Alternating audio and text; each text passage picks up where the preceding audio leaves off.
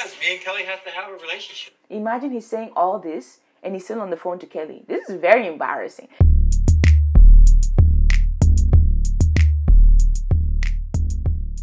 What is up, YouTube? What's cool? What's good? What's happening? It's time for life, and it's also time for another Love After Lockup, baby. So today we are looking at Destinie and Shawn.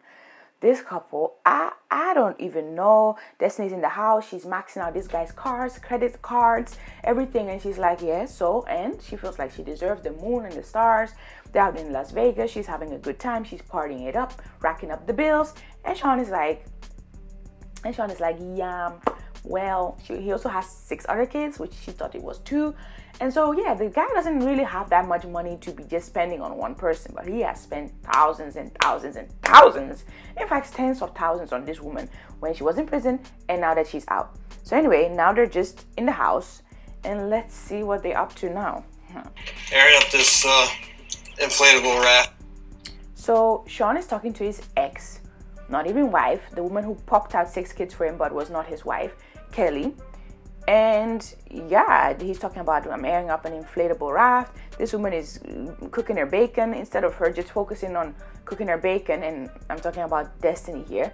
She's like, What is he up to? Let me see what he's up to. I, I want to see everything that he's up to and what he's doing and this and that. So she's she's she's going to see. And this shot is so weird. I don't know these camera people. They love being all up in people's hair. They did it to Shavel. Now they're doing it to Destinie. Um, they're all up on her shoulder, basically, and she's looking out, seeing what, what he's doing. And weirdly enough, he's standing right there by the doors with the windows for Destinie to see. Like, if you're really trying to sneak around, just be like some people, like uh, Michael from the other Love After Lockup, which is now become Life After Lockup, because oh yeah, they do follow these people for a long periodically time. Um, and he went to the bathroom to talk to his baby mama or something like that with the with the tap running. Imagine this cowardly act. But anyway, Destinie's scary man. If I were him, I would I would I would go and buy milk and just just just disappear. But no, I'm kidding. That's that's ridiculous. To be honest, he's got six kids with this other woman. Wifey or no wifey, that's your baby mama. Six children is a lot. That's a lot of responsibility. And you cannot have somebody on your neck who's always gonna be like, who are you talking to? If it's not about the kids, you can't talk to them. Like, what? Obviously, he's gonna have to have a relationship with this woman for the sheer fact that she's now taking care of all the six kids. Also, I don't know why she's taking care of all the six kids. It's kind of weird. Has anybody ever asked that? It's kind of weird when you have like a broken home and only the one person has the custody. You have to ask yourself, so why do only they have custody over the kids? It's weird in my eyes, but anyway. Everything's going. It's going good. I'm actually really surprised. Why? There is Destinie. And she's like, and who you talking to? And he's like, Kelly. And she is not happy, as you can see by her face. Why is she calling you? What? Why is she calling? What kind of ridiculous question is that? Why is she calling you? This would need to happen. Even if they're not talking about the kids, they need to establish some kind of relationship. They have to up, keep and uphold some kind of relationship, some kind of friendship, because that's the woman that's taking care of your six kids. Six! Because me and Kelly have to have a relationship. Imagine he's saying all this and he's still on the phone to Kelly. This is very embarrassing. Like these conversations need to be had before she gets out, when she's in your house, and you need to let her know who's boss. She doesn't have a house. She doesn't even have money. Why do you care so much about somebody that does not care about you? Obviously. Because it's, the minute you guys have kids, that's gonna be the step uh, step sisters and whatever of the other kids, and they're gonna have to play together, and they're gonna have to have or be together, and they're gonna have to have a relationship as well. So why you fronting, girl? Why you fronting? Give me a plane ticket home now. That is a very weird response. Give me a plane ticket home now. That's even so funny. Imagine threatening to leave somebody and be like, get me a plane ticket out of here right now. You get it out of your purse, your credit card, your you get me a credit. you get me a plane ticket out of here right now. Not I'm leaving by deuces. And this is why you always need to have your own ish. You always need to have your own stuff. You always need to have your own money, whether a man or a woman. Cause this is not worth it. This is this is this is ridiculous. Imagine threatening somebody to help you to hurt them. Eh? I'm for real. Get me out of here now. I gotta go. And all this, Kelly is hearing it. She's just going to be more like, I don't know what you crazy guy, what you're doing with this woman. You're definitely not seeing the kids if that woman is around. Like, all that is going to come, I'm sure. Ridiculous.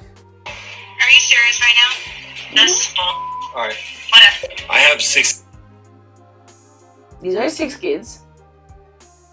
Mm-mm. kids with Kelly, and I need to take care of my kids, so there's gonna be phone phone calls. So I'm good off you, dude. You don't want to respect me, dude? I You. do respect No, you you. don't. That's not respecting me. You. Ridiculous. I have no words for this behavior. Absolutely ridiculous. And she's smoking. Who's buying the smoke? And she's got a phone. Who's paying for the phone? This guy is doing everything for you. If I were her, I'd just shut up, sit there, look pretty, and he's paying for everything. Literally doesn't want you to do anything. Hasn't mentioned a job, not once. Hasn't mentioned anything. Like he's just willing to shower you, lavish you. When you came, it was concealer, foundation, uh, all these things. Even a charcoal face mask. Everything was laid out for you. Who does that? In all the years that I've been watching this show here and there, I've never seen anybody do that for anybody. Or they don't show it. I don't know. But that's a lot. That is a lot. And she's just out here like super ungrateful. You- You're sitting in a house that you don't own. You're holding a phone that you don't own. You're smoking cigarettes that you can't afford. You can't afford anything. Anything right now. You're totally, solely dependent on this guy for now. And this is how you're treating him. It's beyond me. You can have be with her. and I don't wanna be with talk her. To her I wanna be with you. No, I'm done, dude. I don't want to be with you, dude. I don't give a. F- you can have everything back. I don't care, dude. I'm done for real. Oh, well, that's great. Just, just pack up your suitcase, get all the things, all the bras. You went out to Victoria's Secret, you bought about 10 bras for whatever reason. Just put everything, even the charcoal mask, you haven't used it yet? Great. Put everything. Me, I have a baby mama. Ha! Six kids, oh. Hmm. Some of them are of age. They can use this makeup. Listen, just put everything in here and bye. Put everything in a suitcase. Put everything in a corner of the house. I don't care. Even the t-shirt you're wearing, my friend, remove it. Remove it, remove it. Give me the phone. Give me the phone. That is not your phone. You don't pay for this phone. Give me everything. Give me everything and go. You want me to buy a plane ticket? For what reason? Ha! Bye. Some of these people need to have real conversations because I don't see how you can be so ungrateful and sit here and say all these things. I don't know. I, I don't know. It's not all about you. There's actually six six kids involved. If there were no kids involved, I would get the jealousy, but there are kids involved. Ridiculous. Should there have a relationship with her? Because I'm out of it, dude. That's not what I meant. I don't care. Yeah, it is. It's what No, you it's said. not what I- I- Get away from me, dude. No, Bro, get away from me, dude. I'm serious. Get away from me, dude. I'm throwing a punch in your mouth. You're not doing it. She's not she's not joking. She's gonna she said she's gonna boom.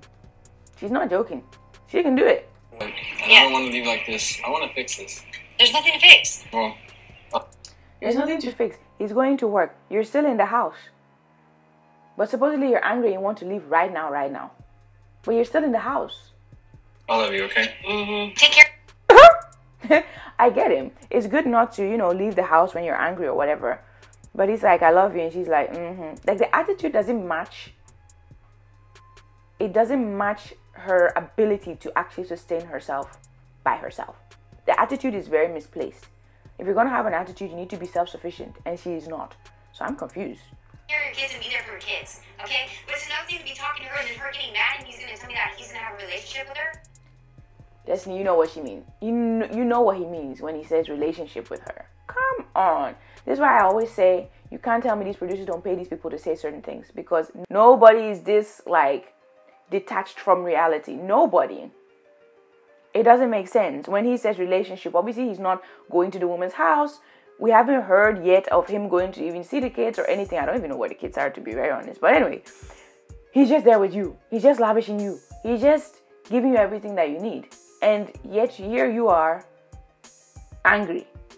Also, the bacon that she made, who was that for? That was a lot of bacon. And he just left work. So does that mean he didn't have any of the breakfast?